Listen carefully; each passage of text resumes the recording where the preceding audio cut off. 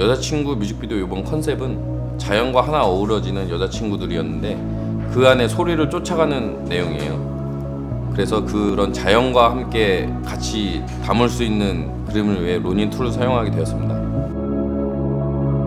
초원에서 정말 빠르게 즐겁게 서로 재밌게 뛰는 장면이 있었는데 그 장면을 담기 위해서 저희가 주로 사용하는 방법은 차량에서 tracking을 follow를 하는 경우인데 요번에는 초원이기 때문에 차량에 들어갈 수가 없었어요. 그래서 촬영팀 친구와 함께 잡고 정말 저희도 빠르게 전력 질주하면서 뛰었는데 아웃풋된 화면을 보니까 정말 안정적인 저희가 원하던 그림을 건질 수 있어서 다 한두 번의 테이크 만에 오케이가 나왔던 기억이 있습니다.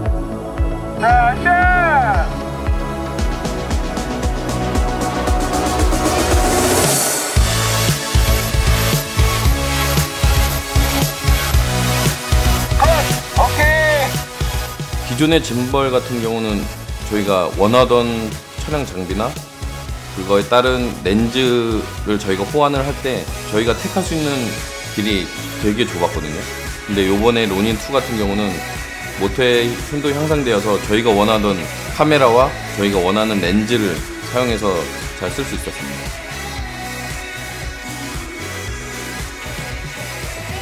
뮤직비디오 현장에서 그 지미집이나 로닌 같은 움직임이 많이 큰 장비를 많이 쓰이고 있는데요.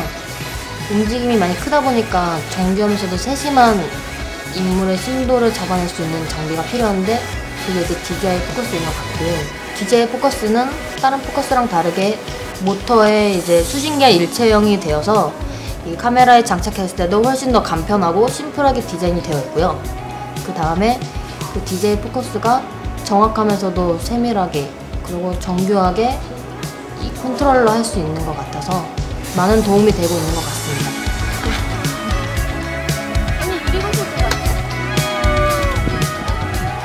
어, 인스파이어 2는 주로 이제 어, 뮤직비디오에서는 인물의 포커스가 가는 부분도 많이 있긴 하지만 또 환경을 보여주는 환경의 광활함과 어떤 그런 아름다움을 보여줌으로 인해서 이 비디오 전체적인 분위기를 잡아주는 역할을 많이 하죠.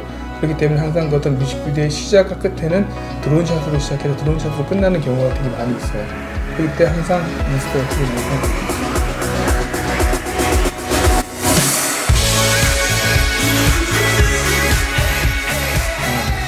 DJI 장비를 사용을 많이 하게 되는 큰 이유는 어, 전체적인 어떤 안정성과 그 다음에 user base 위주의 좀 사용의 용이성이죠. 그렇기 때문에 꼭 제가 아니더라도 저와 같이 일하는 이 또 다른 crew들도 같이 사용을 하게 되더라도 기본적인 quality base를 유지를 할 수 있는 가장 큰 장점이라고 볼 수가 있어요.